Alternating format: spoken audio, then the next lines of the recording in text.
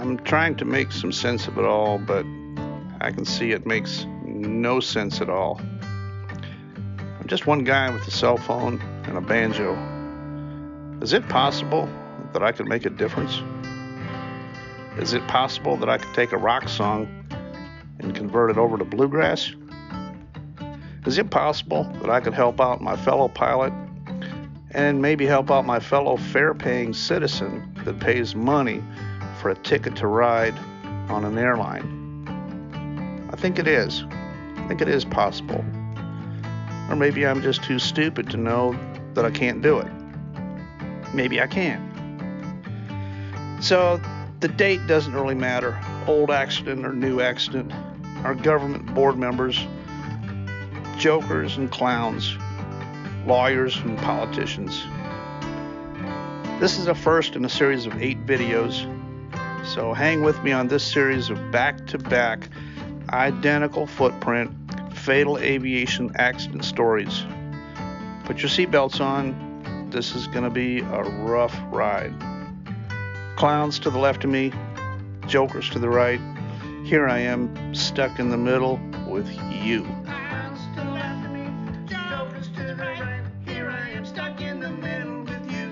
My name is Dan Gryder, and you're watching Probable Cause. A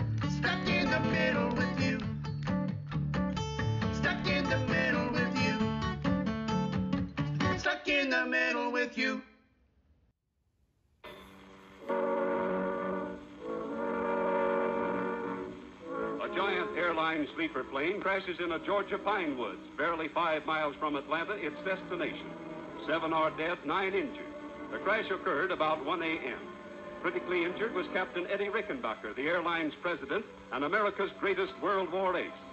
His airline, before this crash, had had only one other fatal accident in 11 years, had four times won annual safety citations. It's February 28, 2021. It's a big day. 80 years since the crash of the DC 3 in Atlanta, Georgia. Turns out it's only about six miles from my house. The crash site is.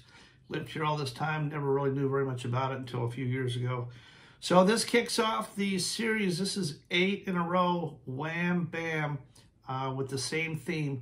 This uh, DC-3 crash from 80 years ago. It's still amazing, the parallels that we're going to draw off this. I hope you'll hang with me to the end uh, because this is an exciting one. So let's back up. I'm going to start with how our government started when we first started flying airplanes. I got an on-screen graphic for you. I'll show it right here, but I've actually got the capability now to show it to you on your screen. Real quick, the Department of Commerce, uh, the aeronautics branch started in 1926 through 34. Prior to that, there wasn't really any rules, regulations, or aircraft accident investigation, but it's long about uh, end of the 20s, people started using airplanes for passenger pay. The general public was able to buy a ticket to ride, and things started to get crazy. Aeronautics branch was in existence from 26 through 34. The Bureau of Commerce took it over in 1934. They ran it from 34 to 38, and they didn't do a very good job, and they definitely needed some help, and everything got revitalized. The Civil Aeronautics Authority Act of 1938 was formed uh, when they formed this, the aeronautics, the CAA, in conjunction with the Air Safety Board. So they were two separate entities. The CAA and the ASB operated independently. The Air Safety Board was in charge of investigating accidents and improving safety. The Civil Aeronautics Authority, the CAA, was the predecessor to the FAA, and their job was to issue pilot's licenses and figure out rules and regulations. The CAB was formed after it became an independent agency under Reorganization Plans numbers 3 and 4 of 1940, effective on June 30, 1940, due to a merger of CAA and ASB. So the Civil Aviation Authority and the Air Safety Board became the CAB. The Civil Aeronautics Board is the sum of those two. Once they had the CAB, the very first accident happened. Their investigation was led by the CAB, and that was in 1940. Shortly after that, the DC-3 that we're talking about, it's a Douglas Sleeper Transport, a DST, built in Santa Monica in October of 1940, so it was brand new on the line and ready to go in 1941, February of 41. And that's what we're going to talk about next. The uh, First of all, we're going to talk about what things were like back then. Uh, I've done a tremendous amount of research and I want to give you a snapshot of, of what was going on back then. Before we had all this GPS and fancy navigation stuff, we had a method of finding the airport. We still had fog and rain and low vis back then, and we still had to get the airplanes through. So they devised a system called the AN radio range, and it was comprised of a big antenna located near the airport. I'm going to show you the graphic for that right now. The AN range that these guys were navigating off of that night was called the AN range, and it basically sat about two miles southeast of where Atlanta Hartsfield International Airport is now. In those days, they didn't have any east-west runways. They had the little terminal, and runway 31 was snugged up against the terminal kind of where the general office for Delta is right about now today. I've got a map of exactly where that runway 31 was, but just southeast of there was the transmitter. And I actually found the transmitter site, the location of where it used to be, and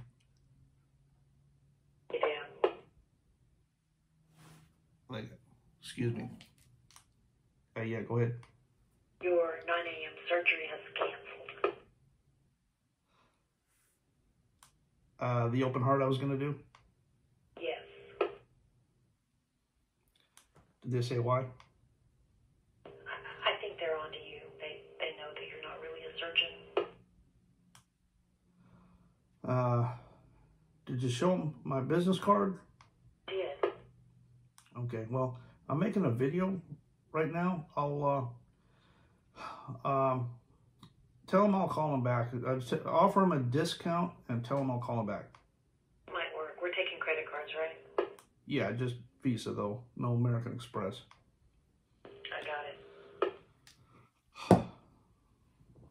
Sorry. The CAB had this uh, antenna system. Basically, you had to come in on a beam, and they called it flying a beam in those days. So the localizer center was on this map that I'm showing you right now, and that thing was on a 315 magnetic. So here's what's fascinating about this. The pilots listened to a tone in their headsets, and you could hear an A, which is dot dash, and an N, which is dash dot. If you were on one side of the center line, you would hear an A. If you were on the other side, you would hear an N. So if you were left of course and needed to go to the right, you would hear an A. And if you were to the right and needed to come to the left, you would hear an N. If you were on the middle of it or on the beam, then you would hear a steady tone.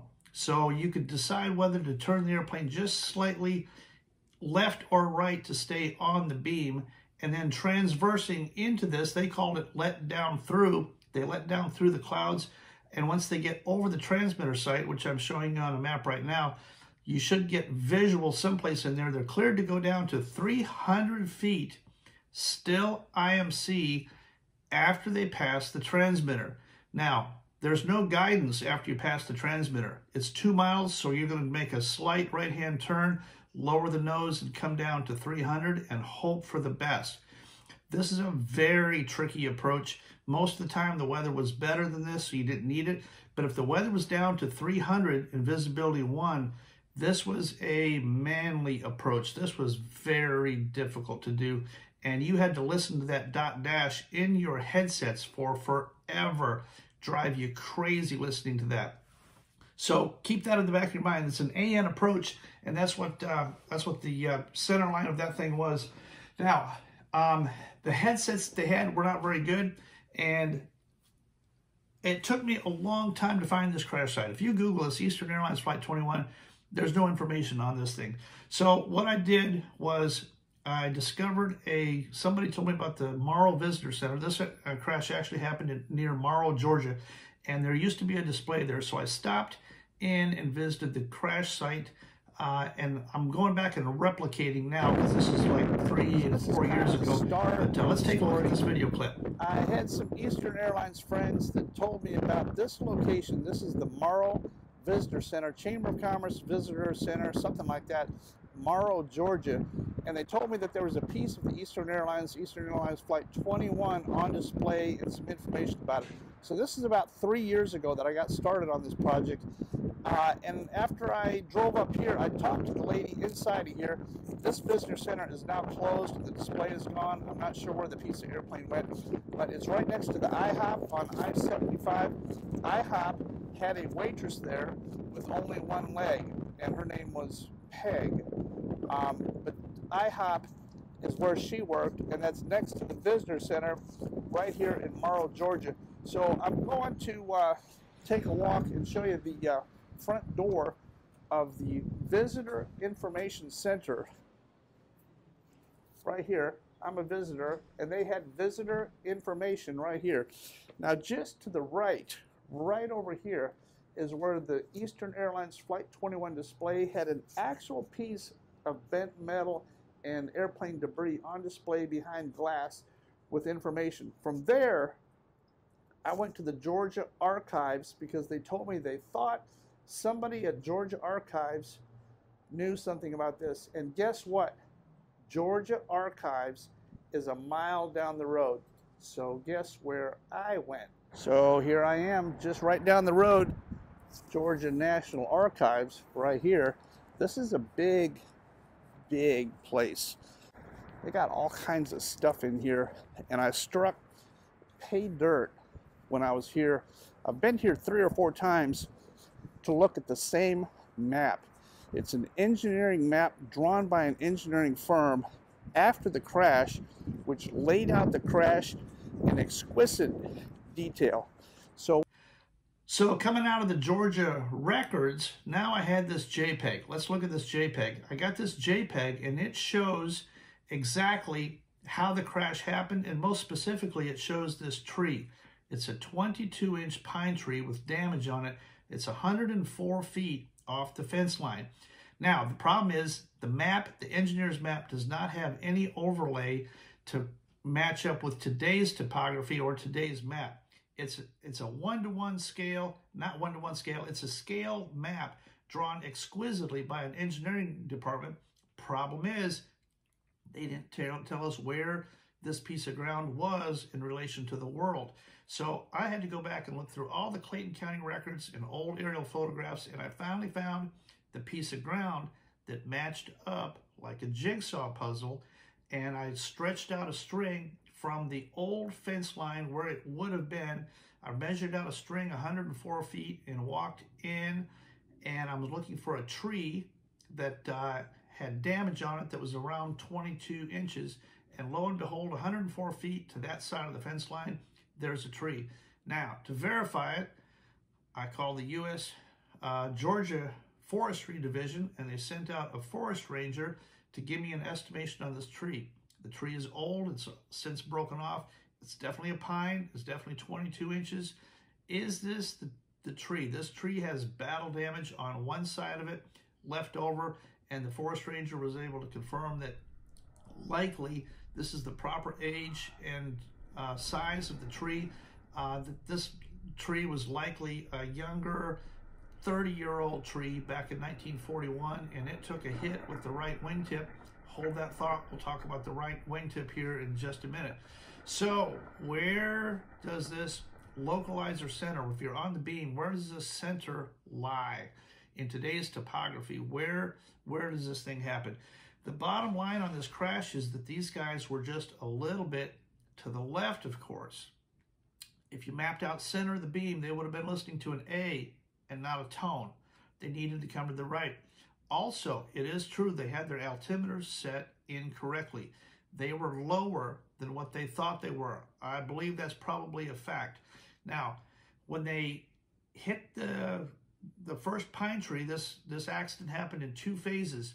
The left wing struck the top of a pine tree, but they were still in the clouds. They were still in the fog. There's no lights out there. There's nothing to see. So all they know is that all of a sudden the left wingtip struck something while they're on their approach. This is still about a five mile final for the localizer antenna.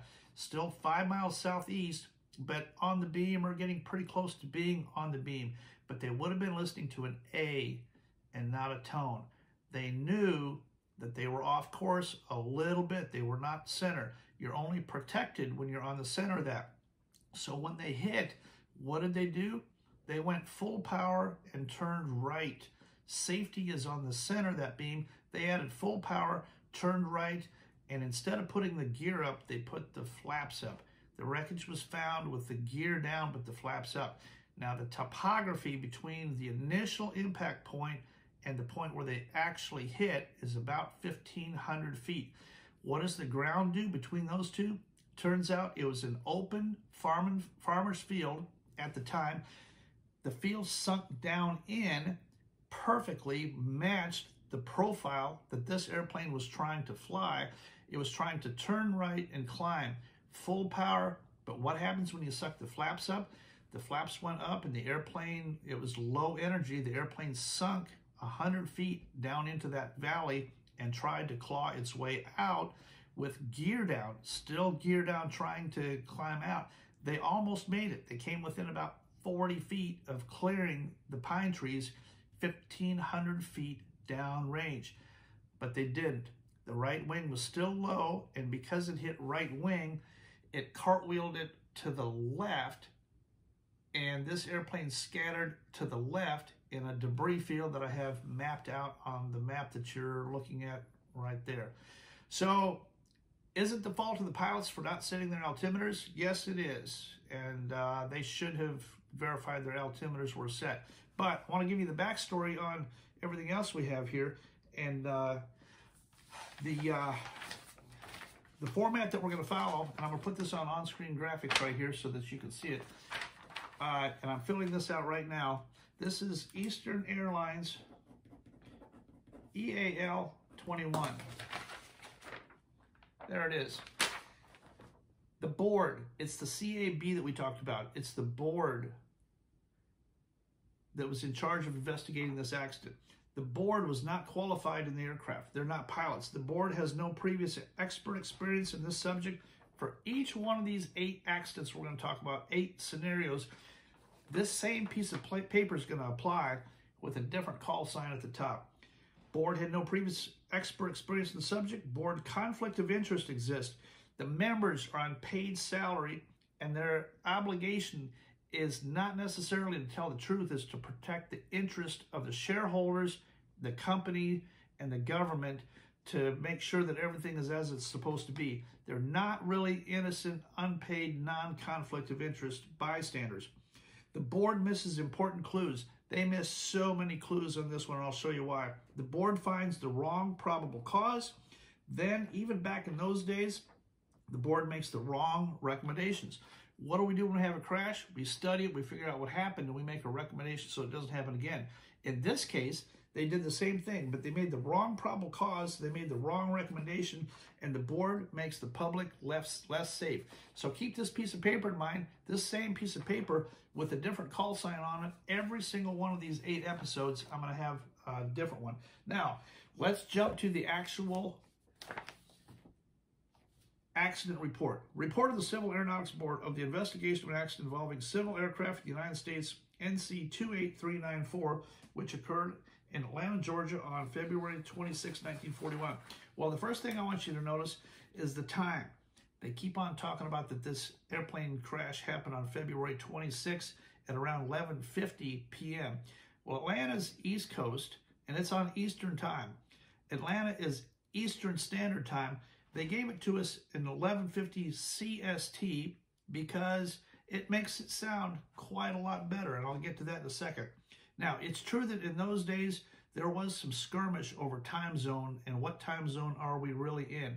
Uh, there was a lot of leeway, and it's possible that there are some surrounding cities and even right down to existing farms who could choose which time they wanted to be Eastern or Central. Very convenient for the CAB call to call this 11:50 p.m. It was actually about 12 p.m. Central, which is about 1 a.m. Eastern. Body time, Eastern time, it was 1 a.m. for these pilots. So let's look at who uh, who was on this flight. Um, actually, before we do that, we're going to talk about the uh, Unqualified Civil Aeronautics Board, the CAB. G. Grant Mason, not a pilot. Robert Crisp, attorney of the board, not a pilot. Jerome Lederer, director of Safety Bureau of the board, not a pilot. Frank E. Caldwell, chief of investigation division of the Safety Bureau, also not a pilot. Paul A. Geraro, air, safety specialist in meteorology of the Safety Bureau, and James Payton, investigator in charge of the Atlanta Office of Safety Bureau, also not a pilot. They had all these guys investigating. Three people on the CAB board, none of them are pilots either. None of them had ever flown a DC 3. They didn't know that if you put the flaps up during the go around, the airplane's going to sink. None of them had ever done it. The depositions of several people were taken, and uh, now we're going to talk about the flight crew. Crew consisted of Captain James A. Perry. You can read this entire report on the link that I have in the description on this video. Download it and read it yourself. Captain James A. Perry, pilot Luther E. Thomas. Captain Perry was 29 years old and had 4,193 hours. Pilot Luther Thomas, age 31 years, had accumulated a total of 806 hours. Check this out. Pilot Luther E. Thomas, his last physical examination was required by civil aviation regulations, was given on February 26, 1941, by a medical officer of the United States Army Air Corps at Mitchell Field, Long Island. Now, these guys are going to fly a very important trip in a brand new DC 3 hauling President Eddie Rickenbacker, president of the company, is on board in a brand new airplane. They send this guy down to Long Island, he's the co pilot, to give him a brand new physical. They want to make sure he's good. Prior to leaving LaGuardia Field on the day in question, Captain Perry had received about two and a half hours check time in instrument operation during the afternoon. Now, this is Captain Perry, the guy in the left hand seat. So he shows up at the airport on this big trip. They've been planning this. This is a big one. Captain Perry is going to be captain on this DC 3. He's got to launch on this night flight in bad weather to shoot an AN approach in Atlanta with Eddie Rickenbacker on board. Are you kidding me? Before they send him out, they give him a two and a half hour check ride. They gave him a two hour oral prior to the two and a half hour check ride. I don't know how you feel after you get done with a, a check ride or something strenuous. You go fly a DC 3 for two and a half hours in an instrument check prior to leaving LaGuardia on this field. Captain Perry had received about a two and a half hour check time in instrument operation. They put him under the hood and flew him around New York to check and make sure he could fly instruments okay pass or fail. It's a check ride with your boss prior to launching him. Now, the flight uh, launches about 7.18 p.m. It's sent out. At the bottom of the page, it says it took off at 7.21 p.m. Eastern Standard Time. So let's put the pieces of the puzzle here. These guys show up at the airport at 7 a.m. to get working on this thing. One goes and gets a medical down Long Island. The other takes an oral and a check ride. They don't leave LaGuardia until 7.21 p.m. Now, en route, they notice that the weather ceiling's becoming 2 to 500 feet after 9 p.m. Um, the required, uh, these reports indicated that the weather at this time was above the required minimum for landing down through, but that an instrument approach would be necessary upon arrival in Atlanta. All subsequent weather broadcasts were available to the trip en route. So they know this guy gets to Atlanta now and here's your timestamp. At 11.38 p.m., trip 21, which is our, our accident airplane, 11.38 p.m. Central Time, which is 12.38 p.m. Eastern Time, body time, Trip 21 called the company radio operator Atlanta reported passing over Stone Mountain, Georgia. This is a slow airplane. He's coming in over Stone Mountain. He still has to go to Atlanta to the transmitter, hit the transmitter, go southeast, fly 10 miles southeast, do a procedure turn, configure, and come back in. How much time does all that take? Ceiling 300, the uh, the weather was given to him following the weather report. Ceiling 300, visibility 1, light rain, light fog. Ceiling variable from 200 to 500. How would you like to get this report at the end? It's 1 o'clock in the morning and you've been up since 7 and you've already taken a check ride. It's foggy, rainy. You got no autopilot. You got no localizer. You're having to listen to this tone to get in. You think these guys were tired at all? This whole thing doesn't make any sense. Eastern Airline Trip 21 to Atlanta Tower over Stone Mountain at 11.30 7 p.m. making approach. We'll give you a call over range station. The Atlanta Control Tower acknowledges receipt of the message and transmit the surface winds. Surface winds are northeast at 10. Now they got to shoot an approach to the northwest, but the surface winds are northeast at 10. It's pushing them south. Now they've got a night, low vis, foggy, AN range approach to shoot down to 300 feet or lower, and they got a crosswind on top of that. How would you like to get that report at 1 o'clock in the morning? So this airplane doesn't make it in, and at uh, 12.09 a.m., which is 1.09 Eastern Time, then the uh, airport became concerned and they started launching a rescue team and all that kind of stuff. A survey of the wreckage disclosed that while traveling in a northerly direction, so the airplane hit a little bit south of centerline and it did its course. You can see it on the map there. It's turning to the right and it hits the, the pine trees that we found. Condition of the wreckage on page 8. Condition of the wreckage. They go into amazing detail on the condition of the wreckage. What's the one thing that they don't tell you? What's the position of the gear and flaps? It's the only thing I want to know. Engines were turning up uh, fine. They were chewing through the pine trees. Engines were making full power at impact. Gears down, flaps up. What does that tell you? They added full power. They put the flaps up. On a DC-3, you can't put the flaps up and the gear up at the same time. There's not enough hydraulic capacity to do it, and everything will just drag. The flaps, I don't know who asked for it, and I don't know who did it. I don't know who reached for it. Maybe the co-pilot, just like the Colgan accident. Maybe the co-pilot inadvertently reached and sucked those flaps up during the go-around, but that was the kiss of death. They sunk into that valley, and the CAB never figured this out. There's uh, there's all that now. Uh, we're down to uh, the very end of this thing, the probable cause. It finally got signed by Harllee Branch, not a pilot, Grant Mason Jr., not a pilot, George Baker, not a pilot. Probable cause. On the basis of the foregoing findings and the entire record available to us at this time, we find that the probable cause of the accident of NC 28394 on February 26, it's the wrong date, was the failure of the captain in charge of the flight to exercise the proper degree of care by not checking his altimeters to determine whether both were correctly set and properly functioning before commencing his landing approach. A substantial contributing factor was the absence of an established uniform cockpit procedure on Eastern Airlines by which both captain and pilot are required to make a complete check of the controls and instruments during landing operations. This thing is crazy. You want to give a guy a check ride and send him out at 1 o'clock in the morning in fog, rain to shoot an AN approach uh, you got no needle on the cockpit to look at. This isn't giving you left and right. There's certainly no up and down. This is a very difficult approach to do in the daylight when you're fresh with calm winds.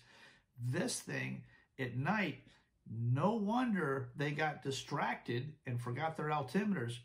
They were busy trying to stay on that course. So that's um, the, the mold that I put this thing in. CAB never figured this out. The aspects of where it hit, where they were relative to their course, the fact that the flaps were up and the gear was down, the fact that they were tired, one o'clock in the morning. CAB never entered any of this. They wrote it off. In those days, the CAB is trying to protect the airline. They're trying to protect shareholders. They're trying to uh, protect the investment of those airlines, those fledgling airlines trying to make it and they want an, an airline system. So any accident, they're trying to smooth it over, cover it, cover it over, and disguise the actual probable cause. Same the same symptoms that are going on today, and that's the conclusion I have on this one. I've got the uh, the links available in the description for this um, video. Very, uh, very telling of the CAB in those days and the NTSB today. The common denominator is the letter B. It's a board. Uh, some of our board members are not qualified, with the exception of one that I know has the highly coveted M2 motorcycle moped endorsement, and that's uh, the best credential there. They can't figure this stuff out because they have each one of these ca cases. I'm going to show you what they missed and what the actual probable cause was.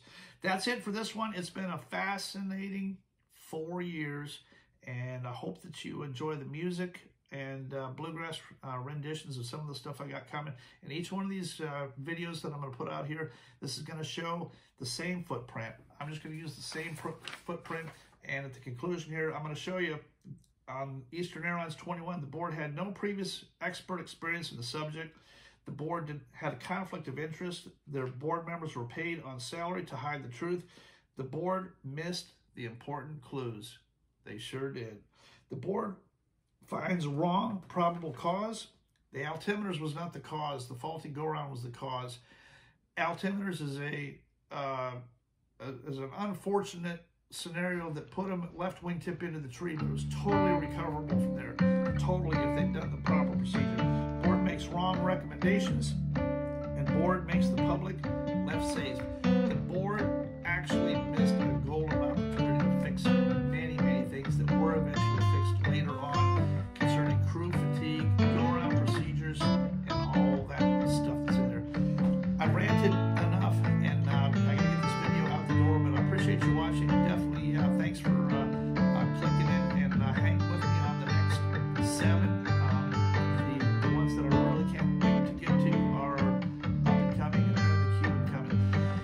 Are